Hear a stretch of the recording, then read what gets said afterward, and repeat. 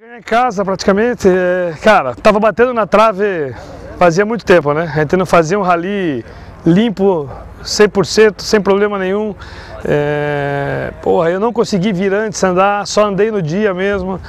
A gente fez um levantamento perfeito, andamos forte sempre. É, hoje, em algumas especiais, a gente administrou em função do que o Ulisses estava virando. É, fantástico, ganhar é sempre bom, né? Tava, tava merecendo ganhar, para a equipe, para o carro, para a gente. É muito ruim você bater na trave, bater na trave, bater na trave.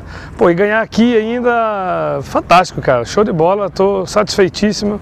Leandrinho está de parabéns pela navegação, uma navegação difícil, cara, porque é um rally técnico que se errasse a navegação, batia. É, o carro estava impecável como nunca teve.